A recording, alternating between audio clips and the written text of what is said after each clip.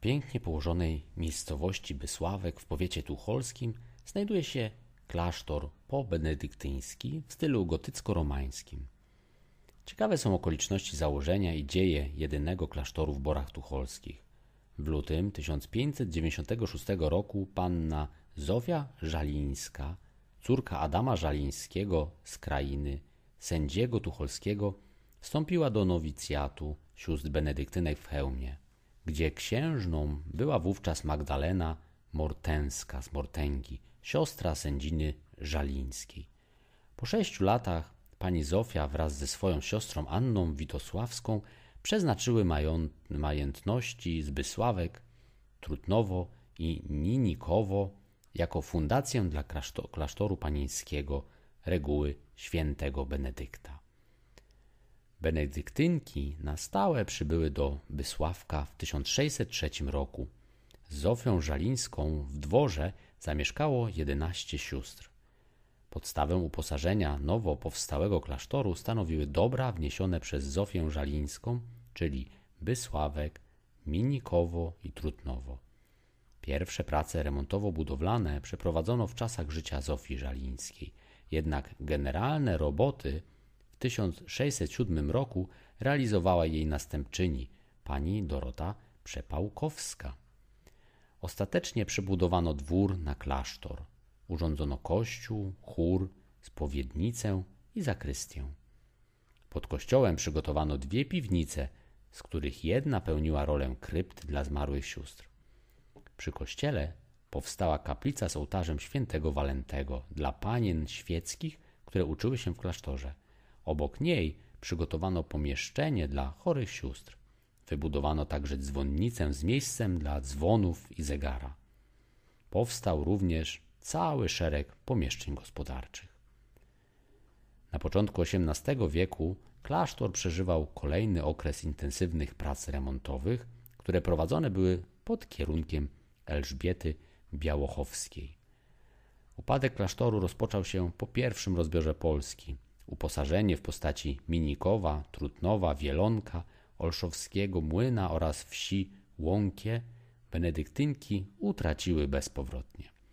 W 1786 roku rząd pruski wydzierżawił Folwark, Folwark benedyktynom. Nie poprawiło to jednak w sposób wydatny kondycji finansowej klasztoru.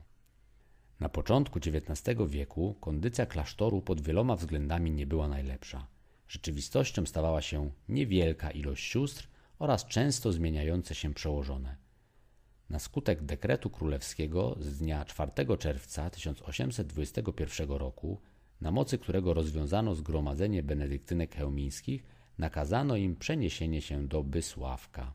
W schyłkowym okresie pobytu benedyktynek w Bysławku budynki klasztorne znajdowały się w złym stanie technicznym.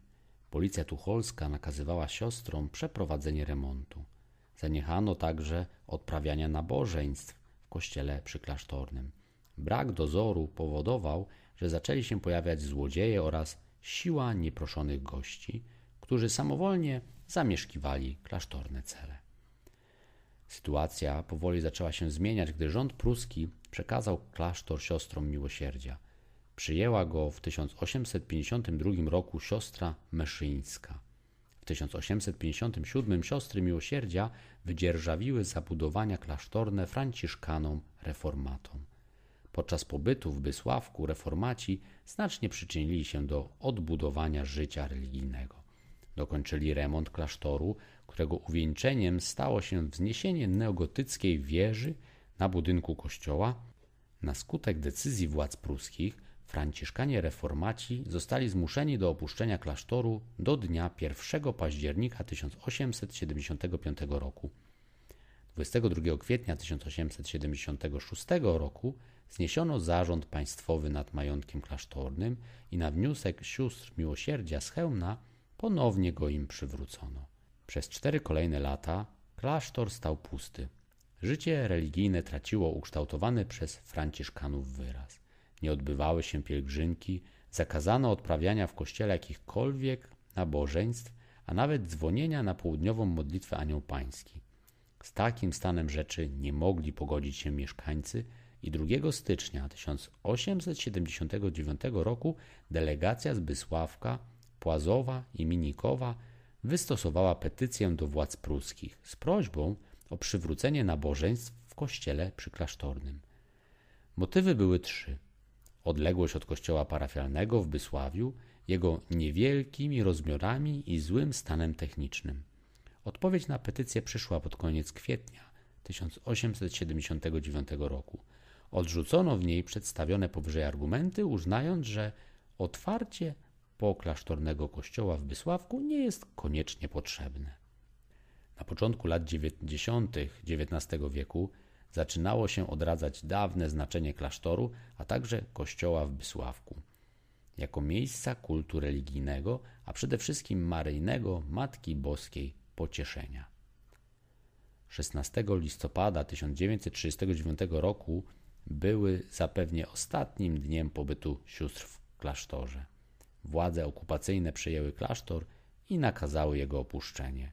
Kościół przyklasztorny został zamknięty już we wrześniu.